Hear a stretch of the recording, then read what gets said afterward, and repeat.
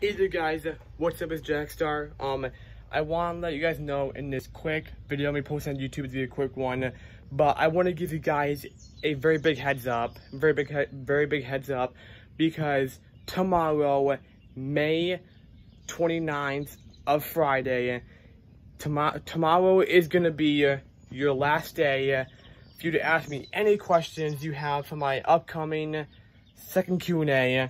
Um, if you, again, you want to know what video to put your questions on, it, I will put that video in the link in the description below. So the video that's going to be in the link in the description below, that's going to be the video for you to comment the rest of your questions you have for me for my second Q&A. You guys, um, you guys pretty much have until May 29th, 11.59 p.m. That's how much, that's how much time you guys have left. So pretty much tomorrow is the last day, um, for you guys to ask me questions. If you guys have any, if you guys have any more, or if you haven't had any, this is your time, because tomorrow is your last day. So I'm going to say it all one, one more time.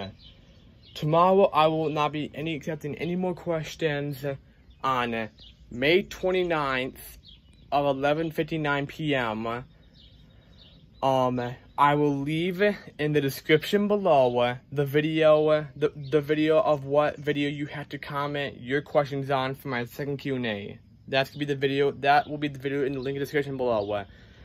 Hope you guys um understand what I'm saying. If you don't, please don't feel afraid to DM me, DM me anything. You can ask me on, um, you can ask me on this video. Yeah, if you have any questions about more, if you have any more questions about my Q&A, uh, not like questions you want to ask me for the Q&A, but like questions about the Q&A, make sure you leave them in this video below. But the video that's to be the link in the description below, that video is going to be the video for, um, what video you have to comment below your questions on for my second Q&A.